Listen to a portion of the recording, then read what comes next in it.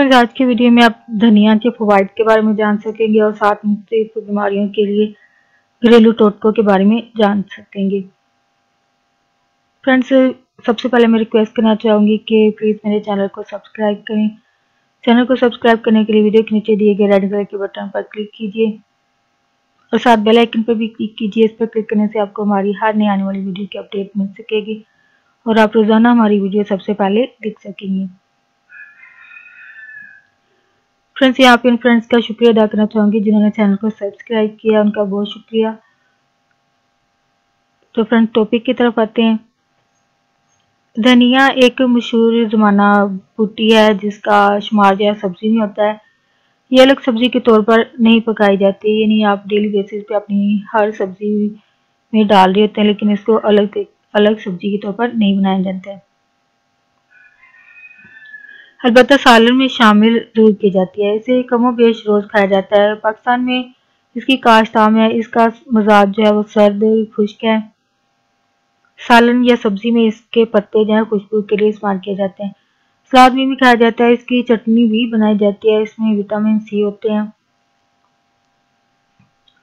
इनके फवायद में ये है कि मैदे को, मैदे के फ़ंक्शंस के लिए अच्छा है।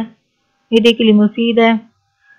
प्यास रोकता है और क्या ख़त्म करता है? वोमिटिंग वगैरह हो रही है तो उसको भी ख़त्म करता है। कमज़ोर मैदे के लिए मुफीद है। दिलो दिमाग को ठंडक और ताकत देता है।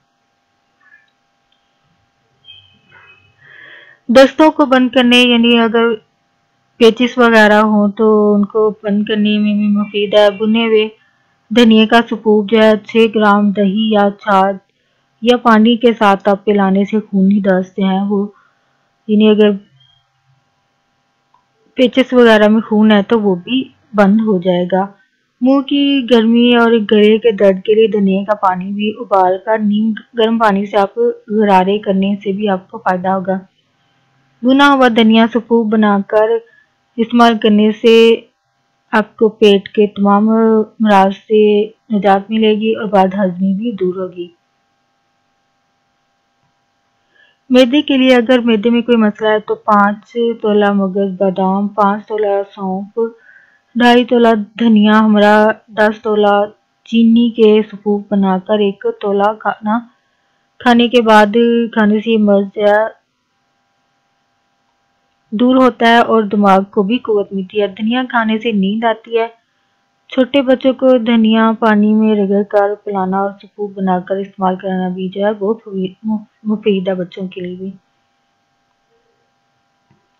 पके हुए होंठों पर धनिया या राल वगैरह अगर का हो पानी बहना जो है और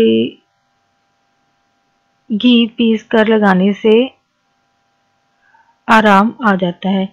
पके हुए होंठों के लिए ये मुफीद है। यानी अगर आप घी घी और धनिए को पीस कर लगाते हैं तो इससे आपको पके हुए होंठ से फ़ायदा होगा ठीक होंगे। धनिए के पत, सब्ज पत्ते 10 ग्राम ज्वाइन अजवाइन देसी 5 ग्राम नमक लाहौरी नमक सात ग्राम हमारा एक पाव पानी के रगड़ कर पीने से दस्त पेचिस वगैरह या लूज मोशन क्या वॉमिटिंग वगैरह भी बंद हो जाती है। वबाई हैजे भी ये एक दवा के तौर पर काम करता है। बच्चों के पेट दर्द के लिए एक ग्राम सफूफ, धनिया पिलाने से इनको आराम आ जाता है। खुश्क धनिए का सफूफ जो है, बतौर नसवार, यानी जैसे नसवार रखी जाती है, वैसे आप इसको लेने से नक्सीर वगैरह जो है वो बंद हो जाती है। यानी अगर नक्सीर फूटती हो बच्चों में या तो आप इसको इस्तेमाल कर सकते हो तो इससे इसकी नक्सीर आना जो है बच्चे की बंद हो जाती है। फ्रेंड्स, यहाँ पे एक बात शेयर करना चाहूँगी कि अक्सर किसी बीमार ने बर्तन में खाना खा लिया तो बर्तन को कुछ लोग फेंक देते हैं या उस इंसान को बर्तन इस्तेमाल करने पर काफ़ी बातें जो है सुननी पड़ती हैं। तो बर्तन आपका एक दफ़ा ही साफ़, साबुन या सरफ से दो धुल जाएगा, साफ़ हो जाएगा, ये साफ़ साफ़ हो जाएगा। लेकिन ऐसे लोगों को जो बातें करते हैं, इनको अपनी जेल हो दे दो। दिल को साफ़ साफ़ करने की भी ज़रूरत है। बर्तन साफ़ करने से साफ़ हो ही जाएगा, लेकिन दिल साफ़ करना भी, जो दिलदारी हो जाएगी, वो कभी साफ़ नहीं होगी। किसी की रूह को दुखी करने की बजाय दिलो दिमाग को साफ़ करें। बर्तन को कुछ नहीं होता। अगर आप उसको साबुन से धो लेती हैं, किसी किसी भी इंसान ने खाया हो, बीमार इंसान ने खाया हो जैसे भी आप लोगों से जिससे नफरत कर रही हो अगर उसके जिसने भी खा लिया तो उस बर्तन को फेंकने की बजाय आप बर्तन को धो लें बर्तन तो आपका साफ़ है। तो आपको फेंकने की ज़रूरत नहीं है, साबुन से साफ़ हो जाएगा। मादी चीज़ों की फ़िक्र करने की बजाय अगर आप इंसान के साथ, उनके इमोशन को भी समझें तो आप भी खुश रहेंगे और दूसरों को भी खुश रहने दें। तो बजाय मादी चीज़ों की फ़िक्र करने की बजाय, वो चीज़ें तो एक ख़त्म होने वाली है, लेकिन एक इंसान जो है, जिसके दिल में जो अल्फाज चुभेंगे, वो ज़्यादा नुकसानदेह हैं। तो आप अपने ऊपर इस तरह का गुनाह लेने से बेहतर है दिल आजारी करने से तो बेहतर है। कि आप इंसानी इमोशन और एहसास को भी ज़रूर समझे, बजाय चीज़ों मादी चीज़ों की फ़िक्र करने के। फ्रेंड्स, अगर आपको ये बात अच्छी लगती है, लगता है कि आपको फ्रेंड्स के साथ शेयर होनी चाहिए, नॉलेज की बात है, अच्छी बात है तो प्लीज़ आगे फ्रेंड्स के साथ ज़रूर शेयर करें। वीडियो को अगर अच्छी लगती है तो प्लीज़ इसको लाइक करें। वीडियो के वाले कोई बात करना चाहते हैं तो प्लीज़ कमेंट में जाके इसको लिखें। और अगर कोई टॉपिक चाहते हैं कि इस पर वीडियो बनाए, वो भी आप कमेंट में लिखें।